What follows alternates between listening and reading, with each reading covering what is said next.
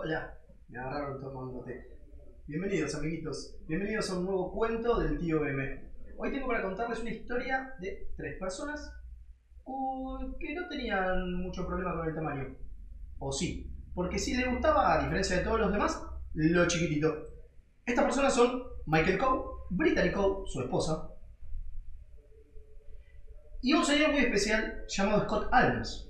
Estas tres personas hicieron algo distinto en los juegos de mesa. Allá por el 2014, la gente de Gameling Games, que eran Scott y Brittany, Scott, eh, lanzaron una convocatoria para. Vía Twitter fue, sí, vía Twitter lanzaron una convocatoria porque querían editar juegos.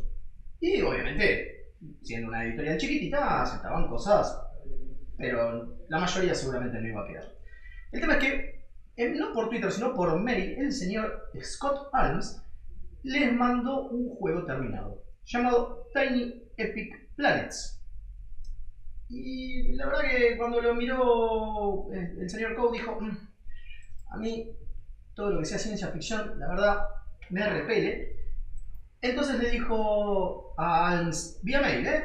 Che, me encanta tu juego, buenísimo, pero la verdad no me gusta la idea, yo quería algo más, más, más clásico, ¿no? Eh, fantasía épica, monstruos, elfos, enanos, algo por el estilo. Aparte de que Gaming Studios tiene un, un casquito de un caballero, entonces dijo, haz una cosa, trata de dar una vuelta, pero me encanta, y eh, fíjate, mándamelo nuevo, pensando de acá dos meses, tres, quizás de tipo, ¿por qué? Porque el juego era un juego 4X.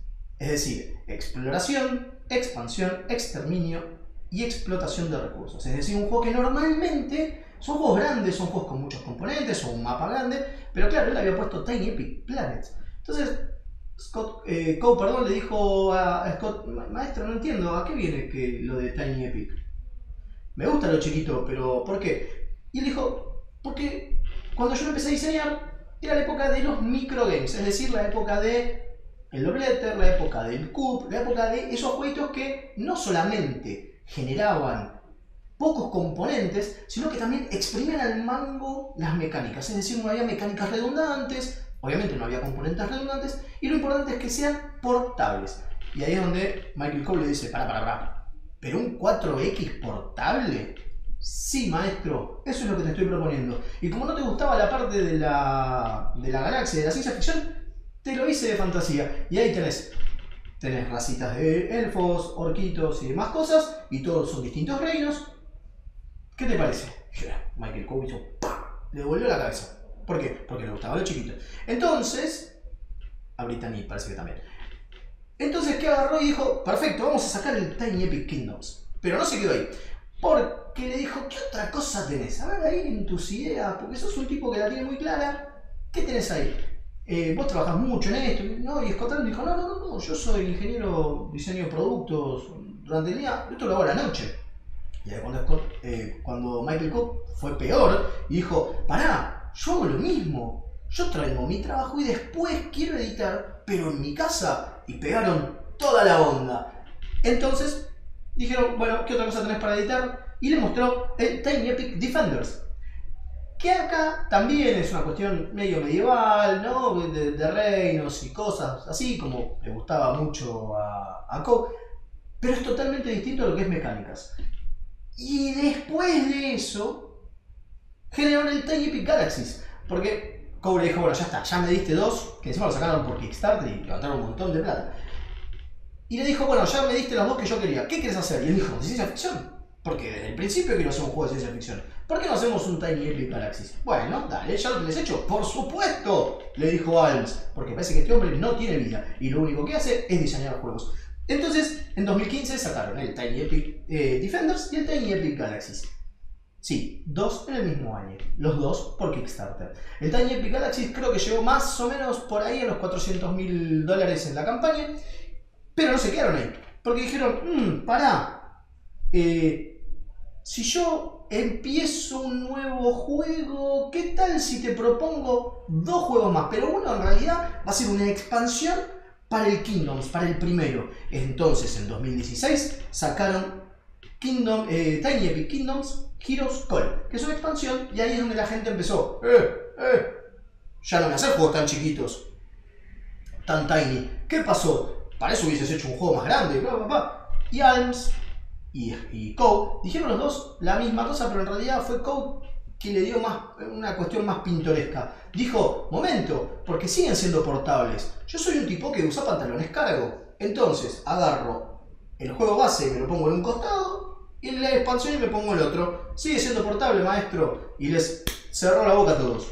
Así fue como ese mismo año, perdón, sí, en 2016, aparte de la expansión del Tiny Epic Kingdoms Heroes Call, sacaron el Tiny Epic Western. Es donde se fue todo el chancho. ¿Por qué? Porque ya teníamos fantasía medieval de 4X, fantasía medieval de eh, cooperativo, que es el Defenders.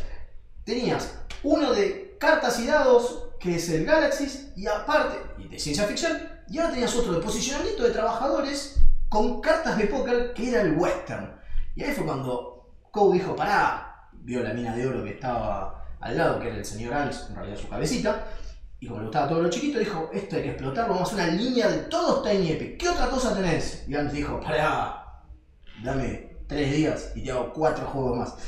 Y en 2017 sacó una expansión para el Tiny Epic Galaxies, que se llama Tiny Epic Galaxies Beyond the Black, que es esta que está aquí Después, en 2017 sacó algo que dijo, ¿qué tanto podemos jugar con el Zelda? Y Michael Cole dijo, no tengo plata para pagar eh, derechos de autor, entonces hagamos algo parecido. Y Adams dijo, sí, porque la verdad que a mí me encanta el Zelda, y, Scott y Michael Cole dijo, a mí también, yo soy fanático y vivía jugándolo en, en la Nintendo. ¡Grosso! Entonces, ¿qué hicieron? El Tiny Epic Quest, que es este de acá, que aparte no solamente es un juego con dados, como el Galaxies, con cartas. Lo importante del juego es que tus personitas van haciendo quests para tratar de salvar al reino. Ahora, hicieron algo mucho más interesante e innovaron no solamente en seguir con esta línea de Tiny Epic de juegos que son grosos pero chiquititos, porque innovaron con los Item Meeples, es decir, meeples como los que todos conocemos, pero que tienen unos agujeritos y les podés poner armitas. Armas, escudos, arcos, lo que quieras, pociones, lo que sea. ¿Por qué? Porque dijeron que era lo interesante de cualquier RPG. Que tu personaje tenga las cosas que vas ganando en las quests. Y ahí fue cuando eh, Alms le dijo, sí, pero podemos hacer algo más interesante que tengo una carta que sea tengo una espada más dos. ¿No puedo tener la, espadita? Y como dijo, déjame revisarlo. Y sí, metieron todo en una cajita chiquita y tenemos item meeples. Eh, luego de eso, en esta enorme historia de lo chiquitito, en el 2018 sacaron una segunda edición del Tiny Epic Defenders, porque era el más chotón a nivel juego, y una expansión que se llama The Dark World. Todo eso en 2018, pero como no se quedan quietos estos muchachos porque parece que solo están para hacer estos pequeños, grandes juegos, sacaron uno nuevo que se llama Zombies, Tiny Epic Zombies, donde aparte de los Item Meeples que tienen armitas, entonces por ejemplo tenés el clásico Sierra o, o Bat con, este, con Barbed Wire alrededor, a lo negan, eh, ahora aparte le hicieron vehículos a los, a los Meeples. Entonces tenés una moto, un pequeña, chiquitita, todo tiene que ser chiquitito, eh, un auto de policía y es un juego de supervivencia donde tiene varias modalidades de juego. Después vamos a hablar de cada uno de los juegos en específico porque si bien son chiquitos, tienen su profundidad y eso es lo interesante de toda esta saga. Y este año, porque siguen jugando, y siguen craneando, sacaron dos nuevos juegos. Uno que se llama Tiny Epic Mechs, es decir, mechas, es decir, ahora el Meeple no solamente tiene cositas, armitas para poner, sino que aparte lo puedes poner en un mecha. Y sí, de nuevo, todo entra en una caja de estas. Y el Tiny Epic Tactics, que aparte, ahora, no solamente juegan con los Meeples y las armitas y demás, sino que aparte juegan con el territorio. Es decir, que en una caja de estas te vienen distintos territorios, incluido niveles para hacerlo en 3D. Estos muchachos son unos cráneos, especialmente Scott Adams, porque lo más interesante que tiene toda esta línea es que son todos diseños de él, pero también tiene el apoyo de este enorme y a la vez chiquitito editor llamado Michael Coe. Y obviamente a su mujer, que ya sabemos que a Brittany le gusta lo chiquitito, es lo que hay. Eh, la verdad que como saga es hermosa.